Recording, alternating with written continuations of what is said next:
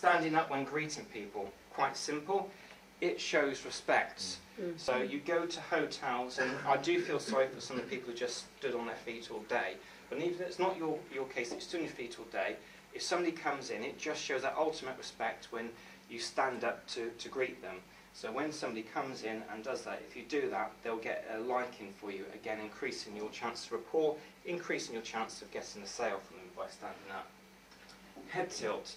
There's a few head tilts here, so that's good news. that shows that you're listening to somebody because people tend to just cock their head and just really, when they're listening, maybe because it's their better ear, are listening to you. Now, as I said, be genuine. Don't just tilt your head and not actually take on board what they're saying because that goes against the grain.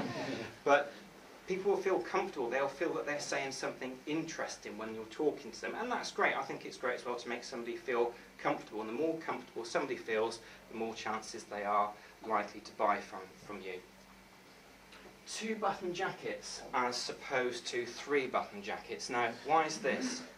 The reason being is because if you go to like the archetypal buildings in films, they're often buttoned right the way up to the top, and it gives out that, that signal I'm closed, I'm shut down, I'm, I'm not open and honest. Whereas you think to some of the heroes, and particularly here, when you go to uh, the Greek heroes, they would often be naked, their chest, their torso would be shown, also while they're rather shaped like a V.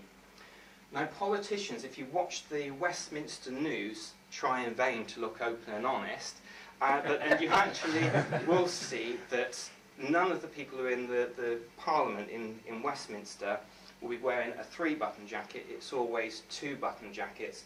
Now, if I've got a client that I feel is particularly difficult, I wear a one button jacket because in a situation like that, I'm taking no chances.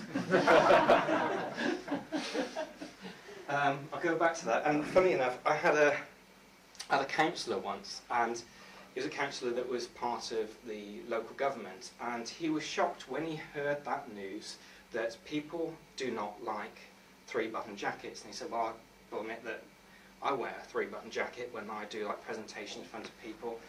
However, after that, it got slightly worse for him because people do not like brown suits, and he was wearing a brown three button jacket suit. So he decided not to use that one again.